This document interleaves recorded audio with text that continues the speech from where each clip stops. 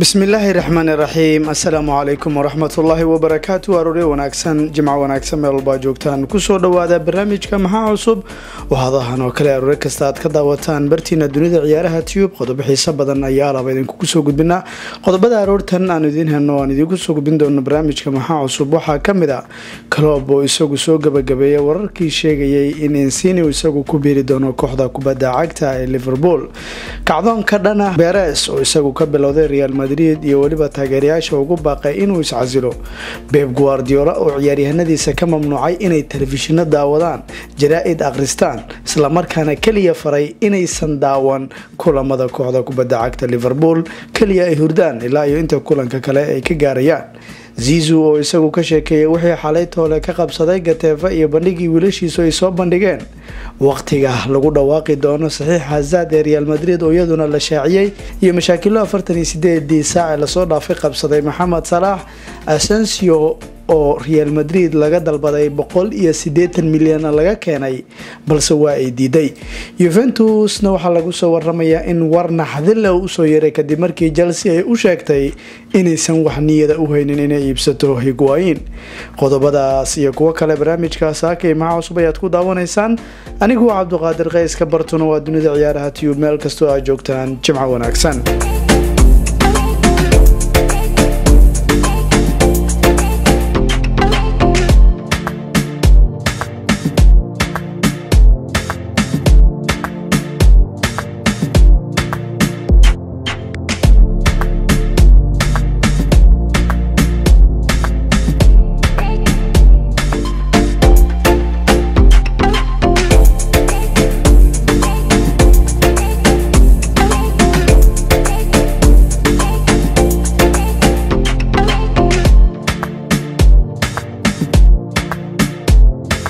kulanti wanaagsan daawadayaal ku soo dhawaada barnaamijka maxaa cusub tababaraha kooxda kubadda cagta ee liverpool ninka u dhashay wadanka jarmalka yorgan colob ayaa isagu wuxuu ka hadlay xidiga u ciyaara kooxda kubadda cagta napoli insini haddii uu imanayo kooxda kubadda cagta liverpool iyo ninka u dhashay wadankaas talyaaniga in uu ku soo birayo kooxda kubadda cagta ee reds. Laacibkan ayaa xiliyadii ugu dambeeyay waxaa lala xiriirinaya liverpool iyadoo la tilmaamay in xidigan suurtagal ay tahay inuu ku biro horyaalka wadankaasi england albaabka liverpool. Laacibkan ayaa waxaa la sheegay inuu ku fakarayo inuu ku biro kooxdiisa waqtigii yaraa uu isagu nihiyada ku hayn jiray islamarkaana si weyn u danayn jiray waxaana la sheegayaa xidigan kooxo waaweyn inay doonayaan waxaana uu jecel yahay xidigan inuu ku soo gabagabeeyo. Kooxdiisa liverpool ayaa lagu yiri warar ay warbaahinada maanta ay qoreen independent oo iyadu ingiriiska laga leeyahay ayaa waxay sheegtay kaloobna uu isagu u sheegay iyadoo xiganaysa lama soo wareegi doono insini ilaa iyo haddana ma jiro wax wadahadal oona dhex maray. Sidaas ayuu ku yiri waxaana halkaas uu ku soo gabagabeeyey wararkii sheegayay in insini isagu ku biiri doono kooxda kubadda cagta ee reds. Sagaal iyo labaatan jirkan ayaa isagu ciyaaray saddex iyo toban gool ayuu dhaliyay. Sagaal iyo labaatankii kulana isagu uu ciyaaray iyadoona ninkan carlo angelotti ka hoos ciyaara.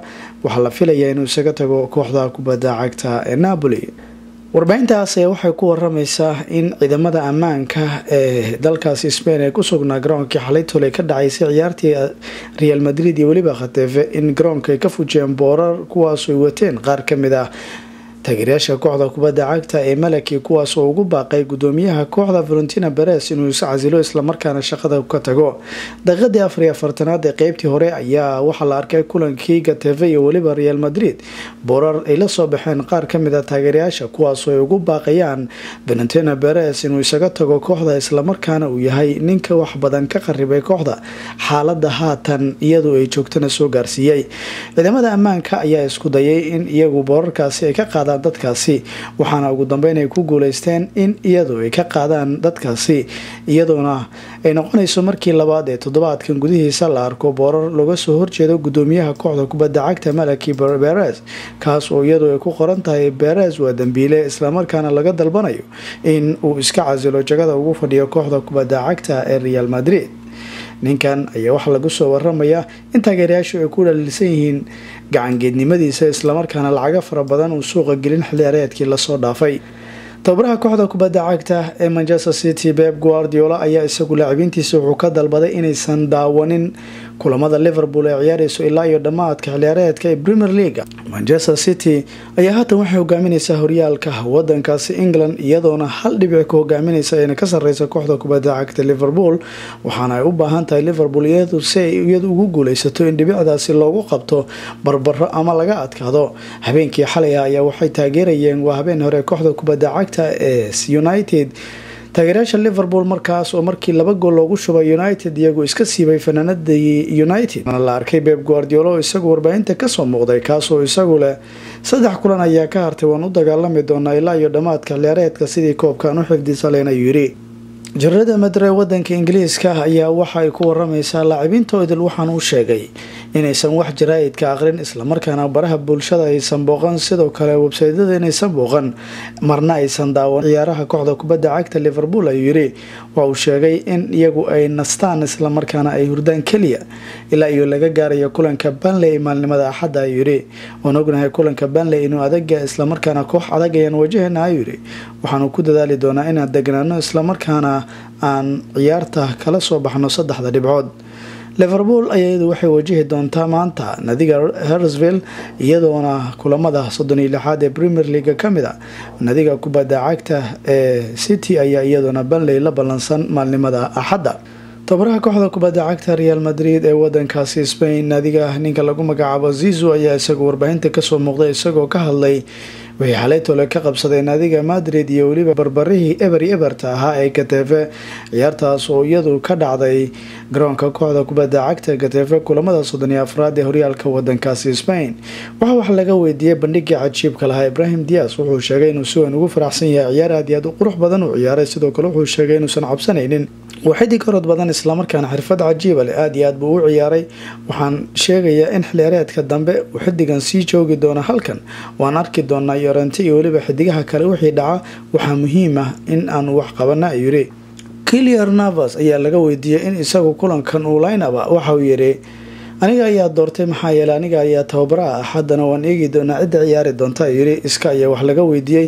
Niyadeedu waxay tahay dhammaan xidigahoo idil inaan siiyo fursad aad baan ugu faraxsanahay shaqada ay qabanaya waxaan rumaysanahay in iyagu ay maanta aan mudnayn wax badan oo fursadaha sababtoo ah waxaanu sameynay fursado badan si aan gool u dhalino. Anigu waan ku faraxsannahay bandhiga laakiin kuma faraxsanin natiijada ayuu yidhi. Waxaan ogahay dhammaan inay dadaalayaan islamarkaana ay fursad siinayaan nafsadooda islamarkaana ay ku dadaalayaan sidii bandhigooda cajiibka ay ula soo bixi lahaayeen. Waxaa wax laga weydiiyey benzima iyo haddii uu sii joogayo haddii kale. Waxa uu sheegay benzima halkan ayuu joogaa waan arki doonaa wixii dhaca dhammaadka xilciyaareedka ayuu yidhi. Waxaa wax laga weydiiyey valverdi xidiga layidhaahdo wuxuu sheegay ilaa iyo haatan inuusan la hadlin laacibka gateve ayaa iyadu waxay dooneysaa koobka uefa champions leaga si ay ugu soo baxdo xilciyaareedka dambe. Wuxuu sheegay haddii ay ku guuleystaan in booska afraad iyagu ay fariistaan iyadoo inay u soo bixi doonaan islamarkaana ay u hambaliyeen doonaan booskaasi. Ninkii maxamed salaax ahaa isaguna waxaa la leeyahay badiidzo ayaad isaga cunaysaa mareykanka xaaladeeduna waa xaalka taageerayaasha kooxda kubadda cagta liverpool ayaa ku dhagan ninkan. Salaax ayaa isagu ninka u dhashay wadanka masaarida. Saddex mushkiladood ayuu sideed iyo afartankii saac la soo dhaafay ku dhacay kadib markii kulankii cardif uu isagu soo gabagabeeyey xidigan iyo kaamirooyinku waxay soo qabteen weeryahanka redis isaga oo isaga la murmaya james miller markaas oo rigooro uu isagu qaatay uu ka qaaday xidiga caanka ee miller markaasna u diiday inuu tuuro. Ugu dambeyn waxaa tuuray miller ninkanna waxa uu sidaasi ku sergio aguero iyo weliba obamio uu doonayay inuu ka saramaro. Ninkan calob ayaa waxa uu isagu ka hadlay shirka jara-id ee kulanka harsville waxa uu sheegay in salaax uu isagu yahay mid ka mid ah kuwa ugu fiican caalamka. Diirada waxa uu saaraa dhammaan kulamada ayuu yiri wuxuu sheegay in haatan uu ka mid yahay xidigaha ay ku dagaalamayaan dagaalka udhexeeya city iyo weliba kooxda kubadda cagta liverpool ee koobka ugu guuleysan ayuu yiri laakiin dadka idil ayaa waxay la yaabeen maxamed salax markii talaadadii bartiisa rasmiga ee twitter-ka uu isagu soo dhigay sawir isagoo magaalada new york fadhiya markaasina biisa ka cunaya. Saddex maalmood ayaana ka xigtay markaasi kulanka harsville ee maanta. Waxaana ninkan la arkay fircoonka masaarida isagoo the time uga qeyb galay jiradaasi xaflad ay dhiganaysay boqolka shaqsi iyadoo ugu saameynta badan salaax uu ka mid ahaa waxaa ku jiray musalsalo rag sameeya iyo weliba xidigo kale oo aflaamta gaar ahaan musalsalka lagu magacaabo game of thrones. Sidoo kale waxaa jira jamaahiirta liverpool ayaa si weyn uga carooday falkaasi qaarkoodna waxay dalbadeen in la ciqaabo salaax kuwo kale ayaa waxay sheegay in diiradda uu saaro kulamada kooxda islamarkaana muhiim ay tahay inuu la tartamo city clob ayaa isagu difaacay wiilkaasi wuxuuna sheegay mo waa wiil caqli badan. Wuxuu wadaa wax waliba inuu sameeyo ayuu yidhi ayuu ku leeyahay dadka oo idil. Mas'uuliyaddu anigu waxaan dhihi karaa wax badan ayuu sameynayaa xidigan mas'uuliyadda majalada ee ninkan uu wacday ayuu yidhi haddii xitaa anigu uu iwici lahaa anigu waan qadarin lahaa oo amarkaasi waan raaci lahaa ayuu salaax waa mid ka mid a kuwa ugu fiican waan arkay xafladda islamarkaana wuxuu qaabilay halkaasi dad caana anigu waxaan dhihi lahaa haddii uu ani igu yeeri lahaa waan raaci lahaa ayuu yidhi. Beesada baryahan waa baraka beeshay boqol iyo konton milyan ilaa iyo boqol iyo sideetan milyan ayaa esenso lagu raadinayo waagii konton milyan iyo afartan milyan wax waa dhammaadeen. Boqol iyo sideetan milyan ayaa esenso lagu raadinayaa haddii boqol iyo sideetan milyan esenso uu joogo imisa lagu helayaa imbabe iyo weliba neymar taasa isweydiin mudan. Commentiga noogu reeba su'aashaasi jawaabteeda haddaba wakiilka ninka lagu magacaabo esensio ayaa isagu wuxuu ka hadlay in real madrid ay diiday dalab uga yimid xidigan caanka ee nadiyo waaweyn oo yurub ka dhisan. Sidii xidigan uga bixila albaabka santiago barnabeo ninkan oo wakiilka ah wakiilkiisa uu la hadlayay jiriirada maarka ayaa wuxuu sheegay in naadiyo dhowra xidigan ay doonayeen islamarkaana nadiga real madrid ay diiday xiliyaareedkii hore. Waxa uu sheegay dalabyo boqol iyo konton ilaa iyo boqol iyo sideetan milyan oo ninkan lagu raadinayo islamarkaana albaabka uga baxayo esensio ay yimaadeen. Laakiin sheegay ninkan inuu ku faraxsan yahay real madrid islamarkaana uusan doonayn xidigan inuu isaga baxo. Waxauu intaasi ku daray marco waa xidig dayar islamarkaana wuxuu doonayaa in bandhig cajiiba uu sameeyo. Waxa uu sheegay in real madrid iyadu ay munaasib tahay islamarkaana koobab uu rajeynayo inuu kula guuleysto ayuu yidhi. Dhammaan waxay rajeynayaan kuwa real madrid in bandhig cajiiba ay sameeyaan. Marco isagu waxauu ka mid yahay kuwa ugu fiican halkaasi jooga waa uu dadaala ayuu yidhi.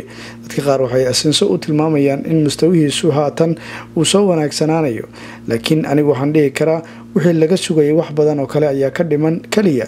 Waxaan rajeynayaa inuu horumar sameeyo. Asenso waxauu yidhi ma doonayo inuu ka tago real madrid? Wuxuu doonayaa in koobaab kula guuleysto mar kale islamarkaana uu ku soo noqdo saalooyinka laysku caleemo saaro maanta oo jimcaha waxaa soo baxay warar naadiga kubadda cagta chelsea oo si cad ay ugu sheegtay naadiga yuventus inaysan dooneynin xidiga higwayin islamarkaana xidigeeda iska haysato yuventus idinkama rabno oo cadaa lagu yiri tuto mercato ayaa waxa uu sheegayaa naadiga kubadda cagta chelsea inay ka laabatay fikradii ahayd ninkan inay iibsanayso islamarkaana qodobkii ahaa ay laabtay. Higwayin waxay sheegtay ninkan oo yanaayer yimid in aysan iibsanaynin.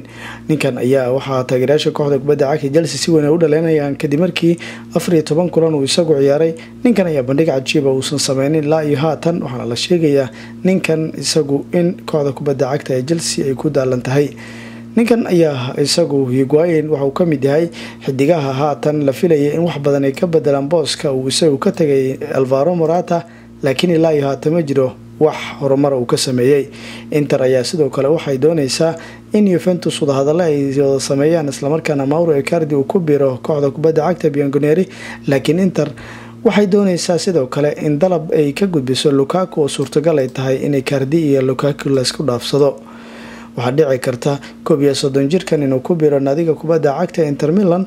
Waa haddii iyagu heshiiskaasi uu cajibiyo walow uu lukaku uu ka daayar yahay garabka wuxuu yaaraa naadiga kubadda cagta ee chelsea denhazad ayaa waxaa la sheegaya inuu ku sii dhowaanayo kubirista real madrid sida ay sheegayaan wararka imanaya dalkaasi spain. Wargeyska kedario ayaa waxa uu sheegaya in real madrid haatanba ay go'aansatay inay ku dhawaaqdo xidigan dhowaan iyadoona dhammaystiri doonta heshiiska. Wargeyska ayaa wuxuu sheegaya real madrid ay go'aansatay in saxiixan heshiiskiisa lagu dhawaaqo marka uu soo gabagaboobo champions leaga bilowga bisha juun. Ninkan ayaa waxaa la tilmaamaya real inay go'aansatay dhammaadka yurub liga islamarkaana waxaa la rajeynaya in kooxda kubadda cagta chelsea in xidigan uu ka hogaamiyo koobka yurub liga sida ay real rajeynayso weeyaane.